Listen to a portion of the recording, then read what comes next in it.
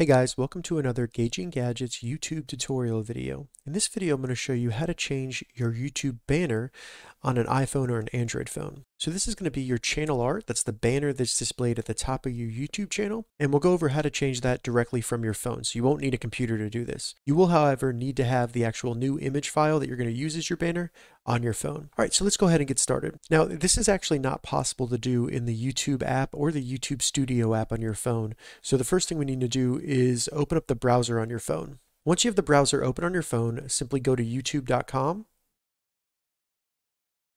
and log into your account. Once you get to youtube.com, what you want to do is have your browser request the desktop version of YouTube. And I'm on the Safari browser on iPhone, so I would just select the A's in the top left and then go down to request desktop website. If you're in Chrome, select the three dots to open the menu and then select request desktop version. All right, so select that. What that's going to do is reload YouTube so that it looks like it would if you were on a desktop computer. From here, we need to zoom in select our profile image in the top right, and then select your channel. So bring us to our YouTube channel. And what we need to do now is simply zoom in and we should see customize channel. Select that. This will open up Studio for YouTube. If it tries to open up the actual app, just select Continue to Studio. Once we get into the channel customization page of Studio, you want to zoom in and then go to Branding. And then right under Profile Picture, you'll see Banner Image. All we need to do is select upload.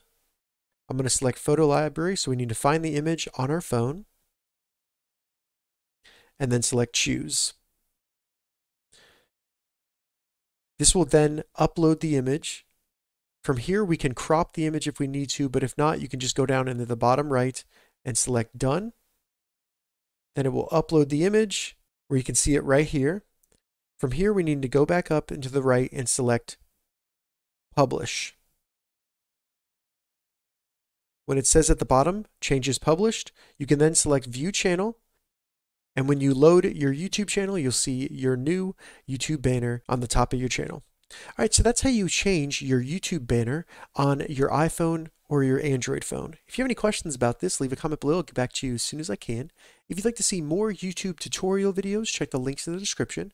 If this video helped you, give it a thumbs up, and please consider subscribing to my channel, Gauging Gadgets, more gadget reviews and tech tutorials.